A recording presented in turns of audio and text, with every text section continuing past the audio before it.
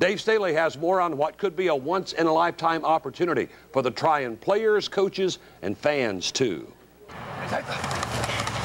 In Georgia, the battle cry is make it to the Dome. Coach Mark Loudermilk's Bulldogs have reached that goal. Trion worked hard this week, getting ready for Friday morning's single-A semifinal matchup with unbeaten and top-ranked Lincoln County. Yes, I said Friday morning, 9 a.m. at the Georgia Dome. That'll throw your schedule off just a little bit. We're going to get bed early. We're going to have curfew lights out at 10 o'clock when we go down spend the night, and we'll get up at 5 o'clock in the morning, so we'll be ready to go. You know, we'll have to eat pregame at 5.30, and it won't be steak and green beans and baked potatoes. It's going to be eggs and grits and toast and cereal and that kind of stuff. Traveling this deep into the playoffs is a dream come true for the Dogs and the Trion community. At 12 and 1 this season, the Bulldogs have steamrolled just about everybody.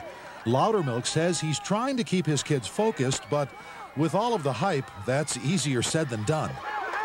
Make sure we have a good time going down there and all, all, that kind of good stuff. But the main thing, we can't lose our focus on why we're going down there. We're going down to play Lincoln and you know and, and try to win a ball game.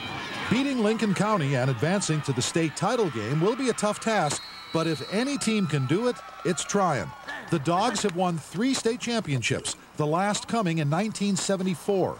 And that's the last time a team from our coverage area in North Georgia won it all. Who'd the Bulldogs beat in the finals that year? Lincoln County. From Trion, Dave Staley, News Channel 9 Sports.